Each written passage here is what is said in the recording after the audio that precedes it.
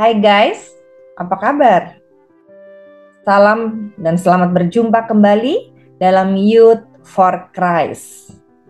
Kata orang bijak, hidup yang tidak teruji itu tidak berharga.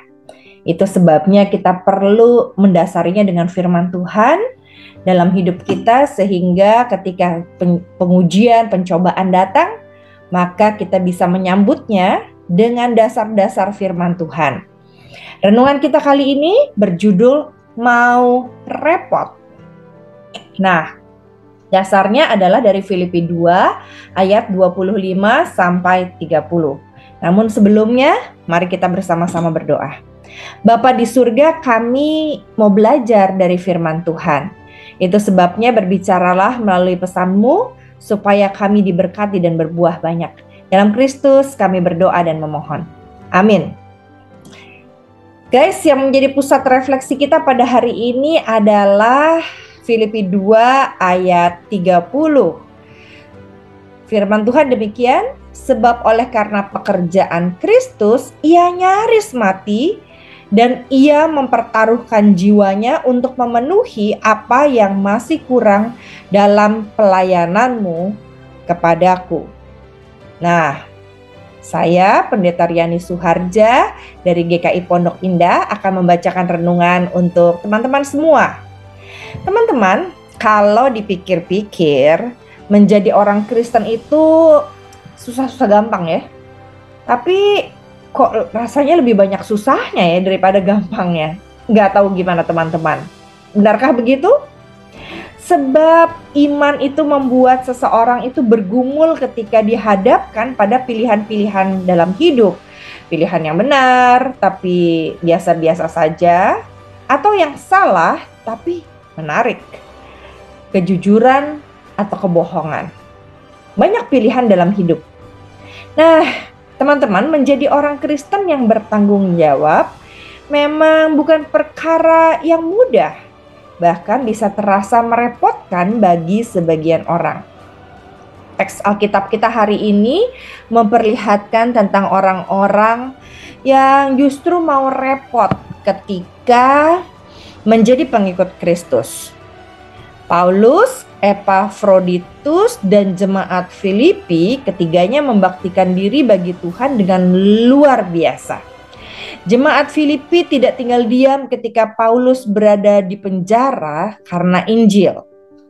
Mereka tetap loh menopang pemenuhan kebutuhan Paulus dan mengirimkan Epafroditus untuk mendampingi Paulus. Saking berkomitmennya dalam mengikut Tuhan dan pelayanan, Epafroditus bahkan sampai sakit dan hampir mati katanya. Wah, Paulus sangat bersyukur dan uh, berterima kasih atas komitmen iman mereka yang menolong Paulus. Nah, pertanyaannya kenapa sih mereka semua mau repot-repot dan mengorbankan banyak hal, termasuk mengorbankan dirinya sendiri ketika mengikut Tuhan? Sebab mereka tahu betul kan bahwa apa yang sudah Tuhan lakukan adalah hal yang tidak ternilai. Jadi itu semua adalah ungkapan syukur mereka. Nah, yuk teman-teman, ada banyak orang cepat menyerah, dan putus asa. Tidak mau repot, bahkan berbalik dari Tuhan ketika merasakan tantangan berat dalam mengikut Tuhan.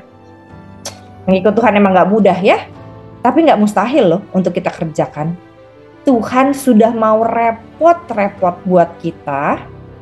Pertanyaannya, apa sih respon kita? Mari kita merenung bersama. Mari kita renungkan yang pertama, apa sih yang disyukuri Paulus dalam teks Alkitab hari ini? Yang kedua, mengapa sih Paulus mau repot dalam mengikut Tuhan? Karena itulah juga yang akan kita alami dalam perjalanan hidup sebagai pengikut Kristus. Mari kita sama-sama berdoa.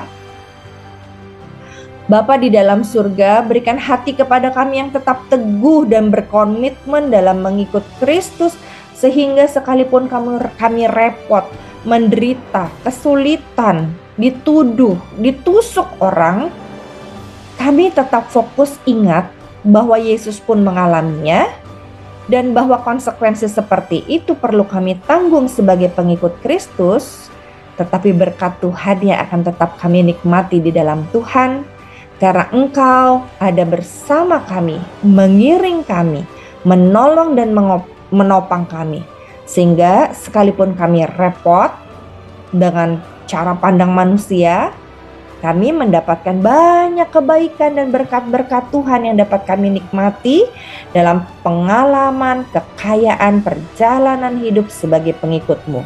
Terima kasih Tuhan, bekerjalah terus di dalam kami. Dalam Kristus kami berdoa dan memohon. Amin. Demikianlah teman-teman renungan kita hari ini. Jangan lupa subscribe dan bagikan kepada yang lain. Semoga terus menjadi berkat. Tuhan memberkati.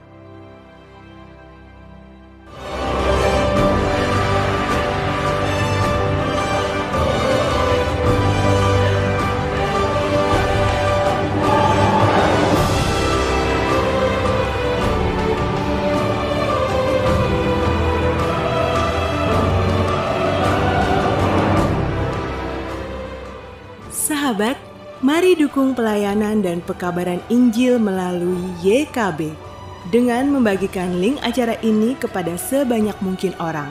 Dukungan juga dapat saudara lakukan dengan mentransfer dukungan finansial ke rekening BCA ke nomor 450 305 2990 450 305 2990 atas nama Yayasan Komunikasi Bersama.